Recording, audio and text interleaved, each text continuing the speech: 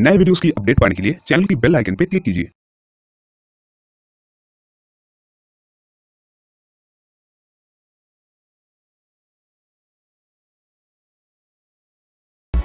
अगर आपने चैनल को सब्सक्राइब नहीं किया है तो यहाँ पे सब्सक्राइब बटन को दबा के आप सब्सक्राइब कर लो और घंटे के आइकॉन को दबाना मत भूलिए, ताकि चैनल के सब वीडियो के अपडेट सबसे पहले मिले आपको। हेलो दोस्तों, फिर से आप सभी का स्वागत है टेगुरु चैनल पर, और मैं हूँ आपका दोस्त टेगुरु। नमस्कार, आदाब शस्त्रीकाल दोस्तों हो आप सब लोग अच्छे होंगे, घर पे होंगे और सेफ़ होंगे।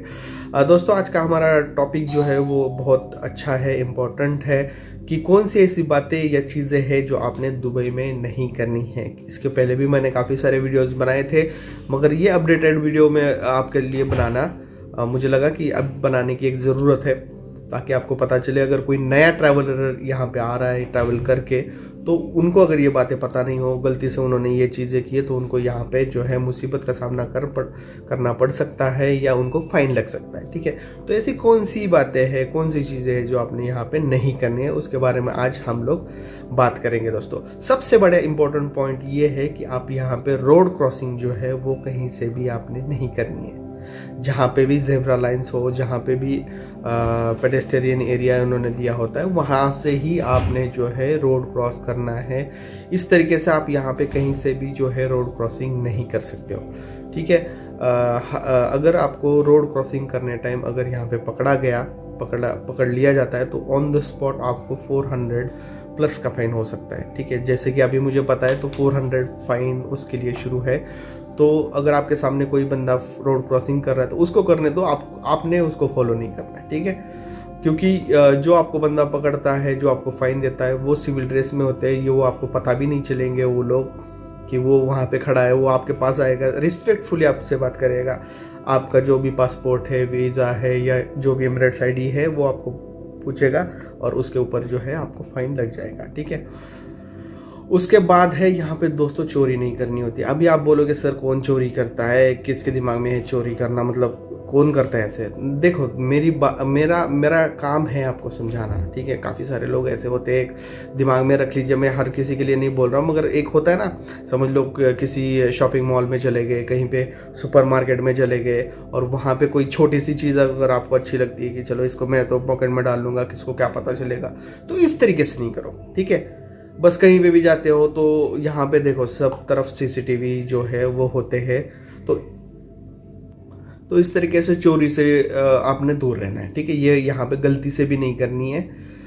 उसके बाद यहाँ पे दोस्तों कहीं पे भी आप कचरा नहीं फेंको, ठीक है? गलती से भी मतलब जो अपने, हमें एक आदत होती है ना, ये उठा लो, कुछ खा लिया, वहीं पे फेंक दो।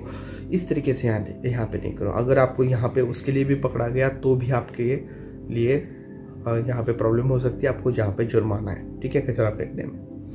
एग्ज़ाम्पल के तौर पर मैं एक बताता हूँ, एक बंदा था, कुछ सालों पहले की बात है, वो स्मोकिंग कर रहा था स्मोकिंग करने टाइम उसको वहाँ पे स्मोकिंग अलाउड नहीं था तो वहाँ पे वो स्मोकिंग कर रहा था, इसलिए उसको एक जुर्माना हो गया। तो वो घबरा कर उसने क्या किया, वही सिगरेट जो है, उसी टाइम नीचे फेंक कर उसने बुझाने की कोशिश की। तो उसका दूसरा जुर्माना उसी टाइम हो गया, क्योंकि उसने वो सिगरेट जो है, वो नीचे फेंक के बुझा दी। ठीक है?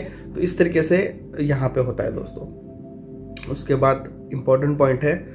दोस्तों, आपका कैसे भी नेचर हो, झगड़ालू नेचर हो, शांत नेचर हो, किसी तरीके से एग्रेसिव हो पॉजिटिव है, यहाँ पे आके आपने अपना दिमाग जो है वो ठंडा रखना है। ठीक है? दुबई यूएई जो है ना, वो साइलेंट कंट्री है। यहाँ पे आपको शांति मिलेगी, शांति मतलब कहीं पे भी जाओ आपको साइलेंस मिलेगा। यहाँ पे झगड़ा करना, ऊँची आवाज़ में बातें करना, रोडों पर ऐसे किसी के साथ आप झगड़ा नहीं कर सकते हो, ठीक है? इसमें भी आपको प्रॉब्लम हो सकती है। यहाँ पे हर किसी बंदा अपने अपने काम में जो है वो बिज़ी रहता है। वो लोग एक दूसरे के साथ इस तरीके से झगड़ा कोई करता नहीं। इवन यहाँ पे हॉर्न भी नहीं देते हैं। हॉर्न बजाना कार में, ठीक है? इसको यहाँ पे गाली देने समझ जाता है, ठीक है? तो यहाँ पे अगर आप रोड के साइड पे भी आपका फ्लैट है, आप यहाँ पे रहते हो तो भी आपको यहाँ पे हॉर्न नहीं सुनाई देगा, ठीक है? उसके बाद है अननोन चीज़ों के दोस्तों यहाँ पे आपने गलती से भी हाथ नहीं लगाना है। हो सकता है आप, अब आप ऐसे चल रहे हो, कुछ आपको कुछ पड़ा हुआ दिखाई दे, आपको वो उठाना नहीं है आपने, क्योंकि आप उस उस टाइम भी आप थोड़ा सा प्रॉब्लम में फंस सकते हैं, ठीक है? क्योंकि हो सकता है वो उल्टी सीधी चीज़ हो कुछ, और उसके वजह से आपको प्रॉब्लम हो, ठीक है? तो इस तरीके से आप किसी अननोन चीज़ को अगर कोई पड़ी है तो अपना अपना काम करो, बस निकल जाओ वहाँ से। कोई जिसकी है वो आके वहाँ से उठा के लेके जाएगा। इसका भी एक एग्जांपल मैं आपको बताना चाहता हूँ शॉर्ट में। एक दिन मैं बहुत साले, पहले की बात है, मैं रोड के साइड में बस स्टॉप पे खड़ा था। वहाँ पे एक वॉलेट वॉलेट गिरा था किसी का तो वहाँ पे तकरीबन मेरे साथ और पाँच छः लोग थे। जो टैक्सी का इंतज़ार कर रहे थे, ठीक है? तो बस या टैक्सी का। तो वो वॉलेट को सब लोग देख रहे थे, मगर किसी की उठाने की हिम्मत नहीं हुई या किसी ने उठाया नहीं वहाँ पे, ठीक है? एक दो मिनट के बाद वहाँ पे एक टैक्सी आई। टैक्सी वाले से, टैक्सी वाले टैक्सी से एक बंदा उतरा। उसने वो वैलेट उठाया और उसने सबके तरफ़ देखे स्माइल दी। सबको पता चल गया बस ये कि ये इसका वॉलेट था, वो ढूंढते ढूंढते वहाँ पे आया था। दोस्तों, ये है चेंज, ये है यूए मतलब यहाँ पे सिक्योरिटी ये जो बोलते हैं ना, इसी वजह से। यहाँ पे ये किसी और के झंझट में कोई नहीं पड़ता। इस तरीके से काफ़ी चीज़ें और भी है। मैं इसका एक और भी पार्ट ज़रूर बनाऊँगा दोस्तों, ठीक है? तो ये पॉइंट आप ध्यान में रखिए कि किसी भी अननोन चीज़ को आपने हाथ यहाँ पे नहीं लगाना है। उसके बाद सबसे इम्पोर्टेंट बात, यहाँ पे आपने जो है ना अडल्ट साइड जो होती है ना पॉन साइड्स वो विज़िट नहीं करनी है। उस तरीके से कोई भी आपके पास मटेरियल मोबाइल में कंप्यूटर में, लैपटॉप में नहीं रखना है। इसके लिए भी बहुत बड़ा आपको फाइन यहाँ पे पे करना पड़ सकता है दोस्तों। काफ़ी सारे सॉफ्टवेयर्स आते हैं आजकल एप्लीकेशंस आते हैं जिसका यूज़ करके आप वो देख सकते हो। मगर यहाँ पे ये सारी साइट्स जो है वो बैन है। अगर इस तरीके से आप इसका यूज़ करके अगर वो साइट्स या पॉन साइट्स देख रहे हो तो आपको यहाँ पे फाइन तो होगा ही। शायद आप ब्लैक लिस्ट हो सकते हो, बहुत कुछ आपके साथ हो सकता है, ठीक है? अब सबसे इम्पोर्टेंट बात दोस्तों ये, काफ़ी सारे लोगों को पता होगा, नहीं पता होगा तो मैं बताना चाहता हूँ। वीपीएन नाम का एक सॉफ्ट एप्लीकेशन होता है मोबाइल में। तो वो काफ़ी लोग यूज़ करते हैं वीडियो ऑडियो कॉलिंग स्टार्ट करने के लिए, जो भी कुछ एप्लीकेशंस नहीं चलते तो वो चलाने के लिए। तो ये वीपीएन होता है वर्चुअल प्राइवेट नेटवर्क इसका लॉन्ग फॉर्म होता है। काफ़ी सारे लोगों को पता है ये, काफ़ी सारे शायद लोगों को पता नहीं होगा। जिनको पता नहीं है, उन लोगों ने ये इंस्टॉल नहीं करना है, क्योंकि ये वीपीएन इंस्टॉल करना या यूज़ करना यूए में इलीगल होता है। इसका फाइन पचास हज़ार दिरम है अगर आप पकड़े जाते हो वीपीएन के साथ तो। ठीक है, पचास हज़ार मतलब कितने हो गए? काउंट कर लीजिए। दिरम्स में कितने होते हैं? तकरीबन इंडियन रुपीज़ में अगर काउंट किया जाए तो वो होते हैं दस लाख रुपीज़ ठीक है तो वीपीएन आपने इंस्टॉल नहीं करना है गलती से भी। देन यहाँ पे कॉल रिकॉर्डिंग जो सॉफ्टवेयर्स होते हैं एप्लीकेशंस होते हैं वो भी अलाउड नहीं है वो भी लीगल नहीं है दोस्तों। अगर आप यहाँ पे ट्रैवल कर रहे हो दुबई के लिए और आपके मोबाइल में अगर कोई कॉल रिकॉर्डिंग सॉफ्टवेयर है एप्लीकेशन है तो उसको तुरंत निकालिए फिर ही यहाँ पे आइए। यहाँ पे ये एप्लीकेशन लीगल नहीं है। उसके बाद अगर आप यहाँ पे आते हो रेंटा कार लेते हो आ, या आपका इंटरनेशनल लाइसेंस लेके अगर रेंटा कार लेते हो तो यहाँ पे स्पीड लिमिट बहुत मायने रखती है दोस्तों, हर जगह पे स्पीड को बहुत आपने नोट करना है। जहाँ पे जो स्पीड लिमिट जिस रोड की है, उसी स्पीड से आपने वहाँ पे गाड़ी चलानी है। मैं एग्जांपल के तौर पर बताना चाहता हूँ नॉर्मली जो शेख जायद रोड है, वो वन ट्वेंटी तकरीबन होता है। मैं एग्जांपल बता रहा हूँ, ठीक है? तो वहाँ पे आप जो गाड़ी है आपकी, वो सिक्सटी से नीचे भी नहीं चला सकते हो। और 120 से ऊपर भी नहीं चला सकते हो। ठीक है, एक लिमिट होता है। तो जो लिमिट है, वही रखिए। उसके अगर नीचे जाते हो तो भी आपको फाइन होता है और स्पीड लिमिट क्रॉस करते हो तो भी फाइन होता है।